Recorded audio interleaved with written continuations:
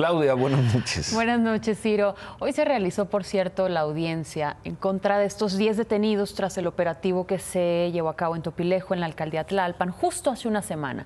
Ocho horas duró la audiencia desde el reclusorio norte. La jueza decidió mantenerlos en prisión como medida cautelar. Estos 10 miembros del cártel de Sinaloa están señalados por los delitos de secuestro, de tentativa de homicidio, de asociación delictuosa, cohecho, delitos contra la salud y posesión de armas de fuego. La, jueza dio un plazo de cuatro meses para el cierre de la investigación complementaria. Veremos.